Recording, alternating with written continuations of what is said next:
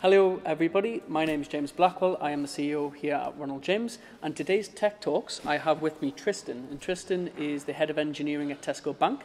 Um, it's going to be quite an interesting topic because we're going to be discussing um, Tesco Bank's move to Newcastle and how that transition is going to uh, go from over Edinburgh. Uh, so, welcome to today's session. Hi. Hello, Tristan. Uh, so obviously, I, I think the first thing a lot of the viewers are going to be quite keen to find out a little bit more around um, Tesco Bank's move, which we'll touch on in a second, Tristan. But do you want to just introduce yourself to the viewers and what your actual role is at Tesco Bank? Certainly. Hi. So, yes, as James said, I'm Tristan Brown. I'm the head of engineering for Tesco Bank.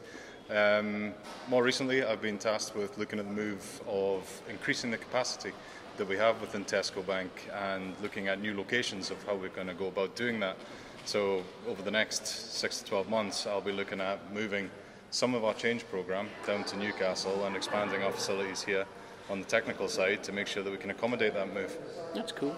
So, what attracted you to Newcastle? Because you could probably uh, pick a range of locations for talent, etc. So, what was the main driving force behind Newcastle? True. So, most of the Tesco Bank is based between EHQ in Edinburgh and Glasgow. We also have a satellite office in Bengaluru. So, when we started looking at where we were going to open a new facility, it was mainly driven around the lack of availability of candidates that we're currently suffering from in the central belt of Scotland.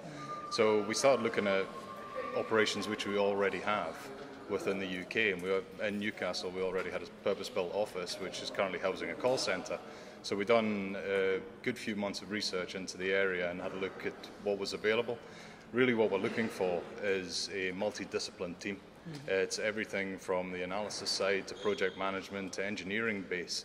Engineering is typically the core area where we suffer from trying to find candidates more recently than not. And Newcastle seemed to offer all of those, ticked all the boxes, so to speak. Add to that, the climate's just nice. Yeah. so Newcastle became our favoured candidate, and that's why you find us here.